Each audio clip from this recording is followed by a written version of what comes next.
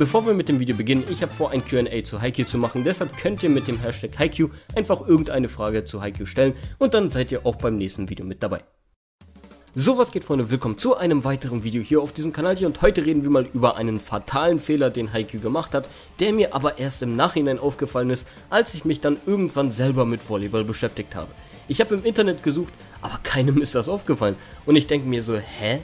Eigentlich gibt es alles auf Reddit, wirklich alles. Zu jedem Fuß, zu jeder Fußgröße, zu allem. Wirklich alles gibt es auf Reddit. Das wird heute nur ein kurzes Video, weil ich wieder einmal positiv bin und nicht genug Kraft habe, ein aufwendiges Video zu machen. Vielleicht hört man das ja auch, ich höre mich an wie eine kleine Kuh. Da ist dieses Video eine perfekte Lösung, also würde ich sagen, fangen wir an.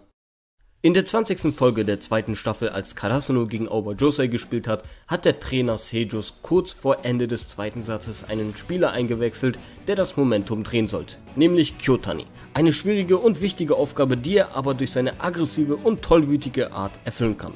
Oikawa bekam den Ball und spielte den Ball Kindaichi zu, der sich auch bereit gemacht hat. Doch Kyotani kommt von hinten und rammt ihn weg und schlägt den Ball selber man muss erstmal sagen, der Schlag war unglaublich krass. Es wurde krass animiert und nicht mal Nishinoya hat sich bewegt, als er geschlagen hat. Und das sah auf jeden Fall cool aus, aber das ist jetzt nicht die Thematik. Die Thematik ist natürlich, dass das verdammt nochmal unlogisch war. Denn guckt euch nochmal diesen Moment an. Ich gebe euch einen Moment und schreibt mal in die Kommentare, ob ihr es selber merkt. Und danach reden wir weiter.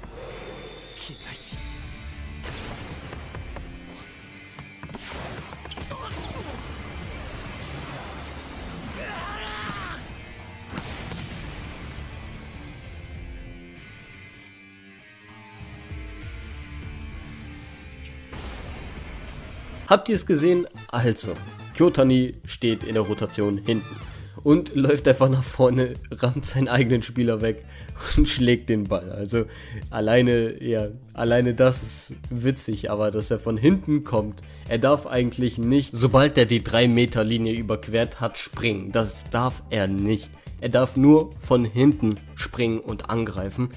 Aber ihm ist das scheißegal und irgendwie ist es auch Furudate scheißegal, denn dieser Punkt zählt einfach. Und da denke ich mir auch, okay, also Furudate, ich weiß, dass du Ahnung vom Volleyball hast und so, ne? Du hast die ganze Serie echt gut strukturiert und auch die Regeln gut erklärt. Aber was ist das? Was ist das? Ja, ähm, das kann ich mir irgendwie nicht erklären. Und da habe ich auch mit ein paar Kollegen von mir gesprochen und habe dann auch im Internet recherchiert, aber dazu gibt es einfach gar nichts. Und ich frage mich, ist das niemandem aufgefallen? Er springt einfach vorne ab, das darf er nicht. Er darf die 3 Meter Linie nicht überqueren. Genau, und das ist sehr, sehr unlogisch. Und nicht mal die Charaktere in Haikyuu, denen ist das nicht mal aufgefallen. Und das finde ich sehr komisch, weil eigentlich ähm, müssen die sich beschweren beim Schiri. Oder der Schiri, dem ist das auch scheißegal. Also, ja, irgendwie sehr, sehr komisch. Ein sehr, sehr komischer Moment, aber ja, sah auf jeden Fall cool aus. Auch lassen wir es einfach so sein. Schreibt hier in die Kommentare, ist euch das aufgefallen? Ich glaube, es ist niemandem aufgefallen, weil Leute, die ja Haikyuu gucken, die haben erstmals nicht wirklich was mit Volleyball zu tun, sondern erst danach. Und dann kommen die wieder und sehen das vielleicht dann. Aber mich interessiert, ob das jemand beim ersten Blick schon erkannt hat, dass das einfach nicht geht. Genau das soll es gewesen sein. Gebt dem Video gerne eine positive Bewertung da. Vielleicht auch ein Abo, falls euch das Video gefallen hat. Und ja, damit würde ich sagen, sehen wir uns